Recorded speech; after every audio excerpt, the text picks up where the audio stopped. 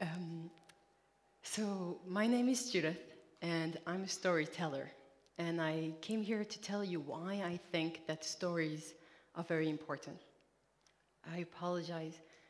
İngilizce bilmeyenler için çok özür dilerim. Um, so, like many children, I grew up in a world that was magical, in an enchanted world. I remember that when I was 16, each and every one of my morning would start with a bike ride through the forest because that's where my high school was. And each morning I would connect to the forest and to how it felt to be there. Each season had a different smell. Fall smelled sweet, like the earth was saying goodbye for the entire winter. And as I rode my bike in fall, the leaves they would crackle and sing under my, my wheels, and I'd get so excited. And I remember that the leaves were flying left and right like a thousand fairies. And some cold mornings, I would pass this lake, and the lake in a cold morning was steaming over like white fog. And I'd think, that witches had been dancing around this boiling cauldron all night, and they had left it still warm for me to find in the morning. Then winter would come and cover nature with a white blanket, like putting it to bed. Time would go by, and one day, on my way to school, I would see the first flowers breaking through the crust of snow and I would know that spring, this charming prince, had come and kissed nature's white lips and brought her back to life. I would carry with me the secret to class that we had pulled it through, that once again, winter was going to go and spring was going to come back. I, I grew up in a commune of weavers, where each day ended with stories by the fireside. Stories were woven into me, sang into me, so much so that everything I saw, everything I felt, connected to me through bubbles of images. And these bubbles of images, they would connect like chains into stories, and all stories flow naturally to the ocean stream of stories, which is this wide pond of symbolic knowledge that was carried all the way to today by all the generations that came before, all the stories, all the fairy tales, all the myths that have been told over and over again and that are still alive today. Then, of course, I grew up and I went to college and I moved to the big city and I decided to be a rational and reasonable adult. And for me, the big city was Paris, but it could have been any big city. It could have been Istanbul, because when I went there, all I saw was the subway. I would wake up and I would go down the stairs. I would ride the subway, and then I would get up the stairs, but I would be too tired. I'd take the uh, escalator, and I'd go to class and I'd take lots of notes and I'd listen to people, and then I'd go back down to the subway, and then back home, and then back down the subway.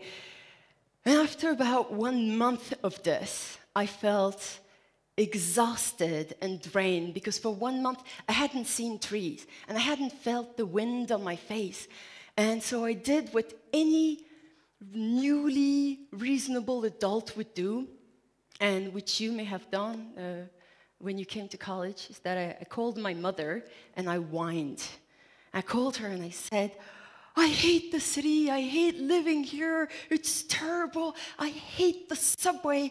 The people in the subway, they see you, but they pretend they don't. And they are there, but they pretend they're not.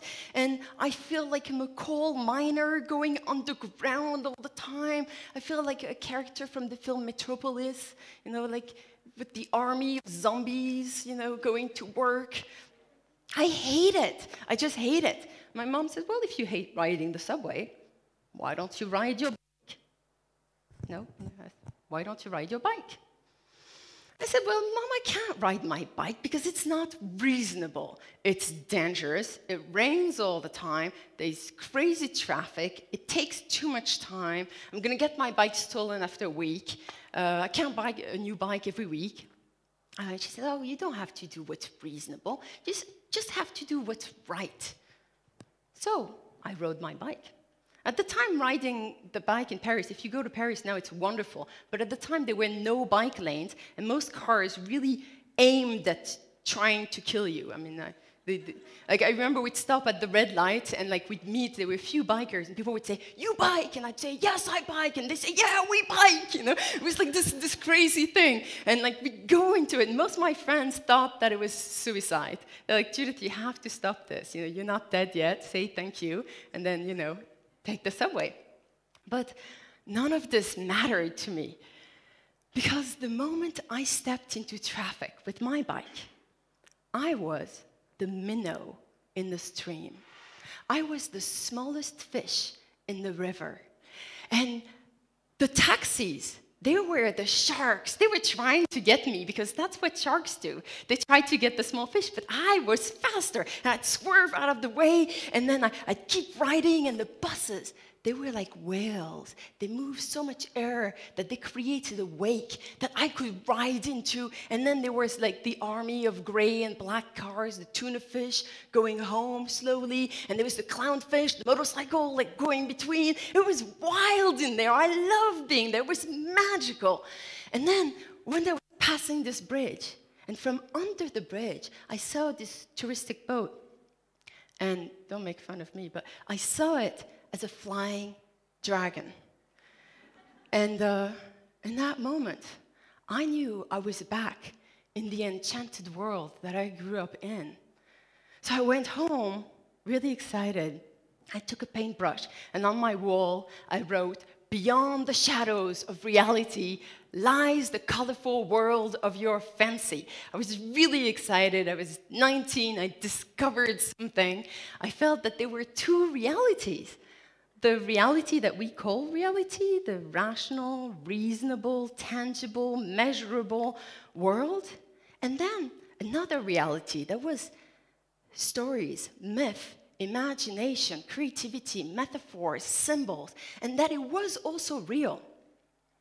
Of course, there's nothing new under the sun. So the pre modern people, they already knew this. That's how they saw the world. Pre modern people really thought there was two ways of thinking, speaking, and perceiving the world. The Greeks called this mythos and logos. So, logos is logic, rational, reasonable thinking, and mythos, that's myth. It's stories, it's metaphors. The thing is that we as modern people, we have cut one of the branches of this tree of knowledge. We still use stories, but we don't believe the insights that we have from them. We don't think it's serious to tell stories. We don't think it's, it's reliable. In fact, we say it's a myth to say it's not true, right? When you say it's a myth thing, you mean that's not real. Disregard any information that we get from the world of stories and symbols. And I always I've been pushing ever since to, to believe in this, but most people tell me, well, Judith, we live in a very complex world. We have some very serious decisions to make. You know, we don't have any time to waste with like stories. How do you want to, to make decisions in this very complex world based on myth, which is not true anyway? So um, we don't have any time to waste with this. And, and it's true. You will never have a hero in a fairy tale make a five year plan or a 10 year plan to reach their goal.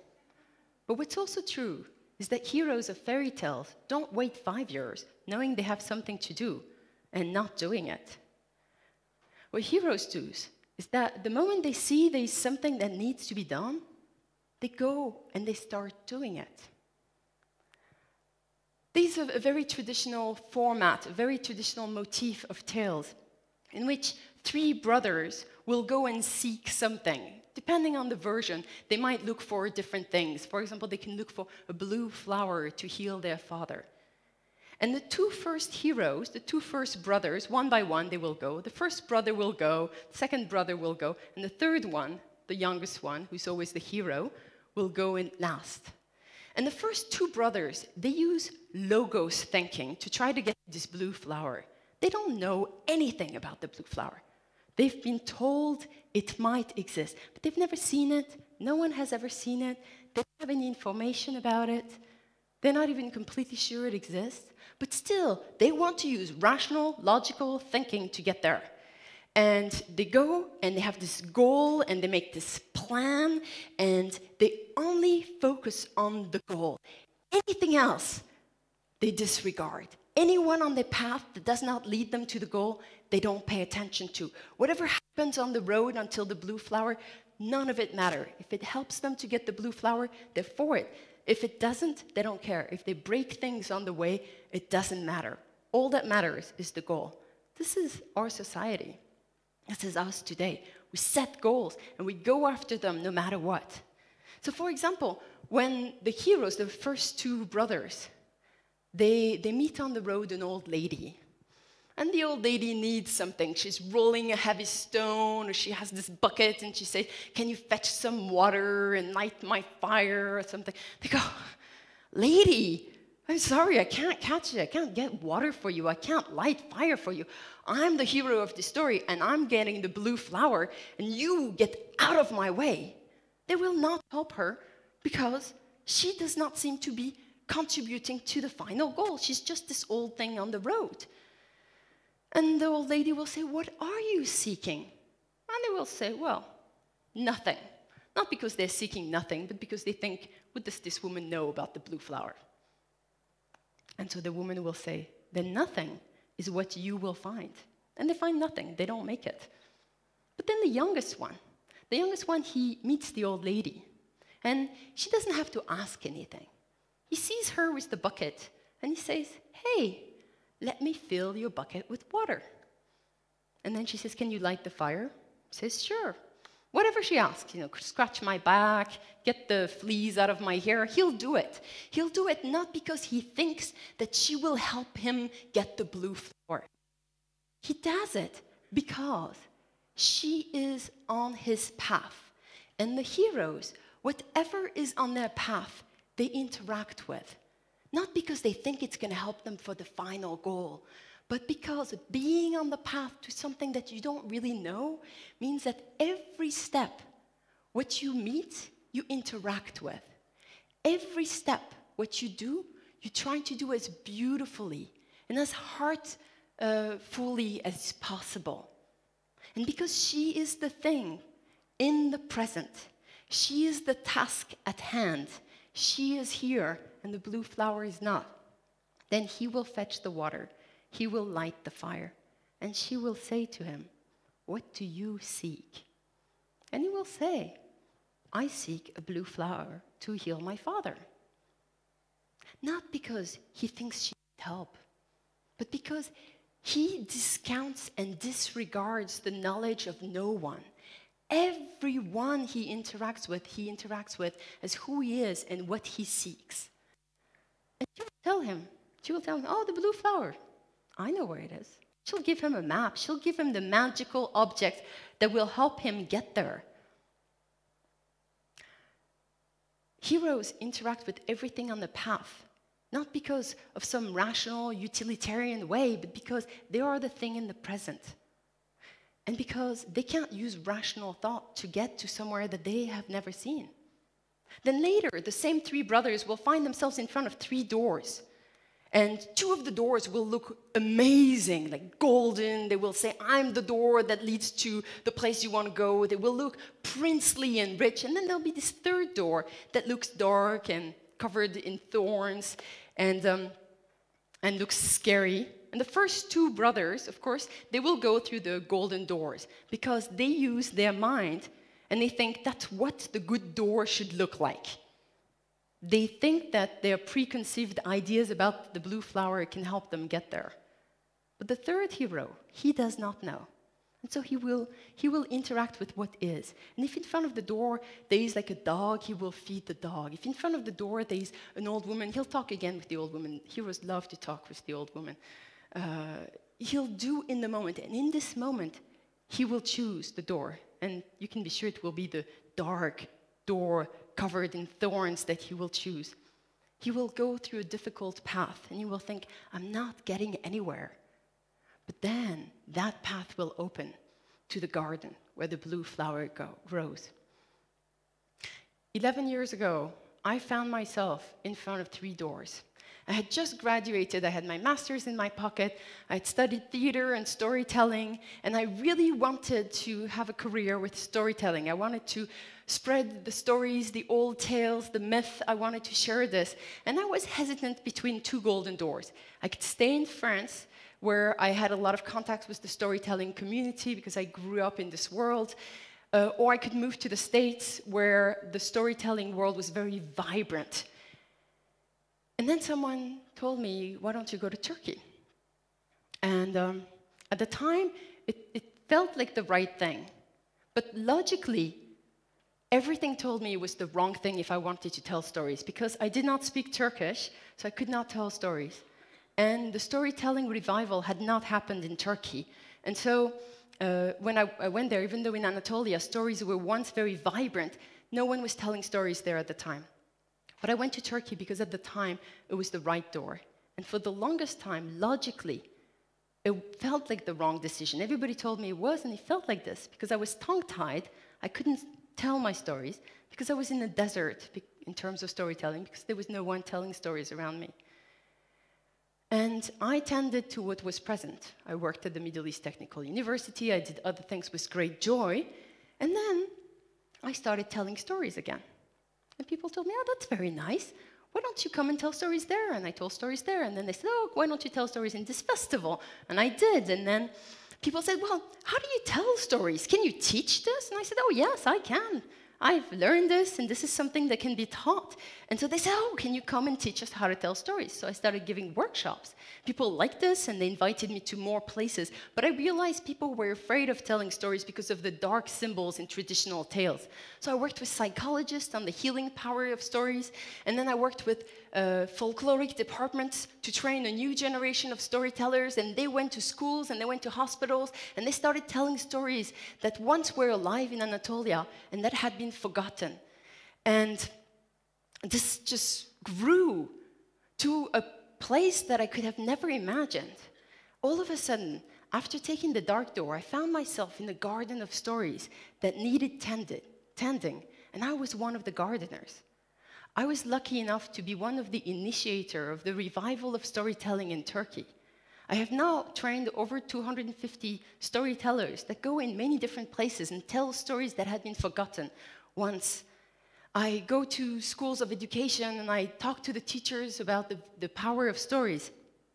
And no one could have told me that this was possible if I had used my logical, rational thinking to make my decisions.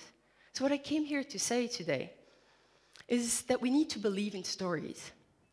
We need to reconnect not just the body mind connection, but the body story connection. We need to connect our sensations, what we see, hear, and feel, to the metaphors and to the stories that come from the ocean of stream of stories, this large pond of symbolic knowledge that came to us from our ancestors. Because if we believe in stories and we connect to them in this way, then we can take our place as the heroes of our own story. And we can connect to the world as the magical, awe inspiring, enchanting place that it is. And if we live in this way, then every day we spend, we think, how can I contribute to the magical garden? How can I help tend, protect, and create more beauty in the place I am in. So I'm asking, as you go today in this magical garden, what seed do you want to plant? What tree do you want to tend? Thank you.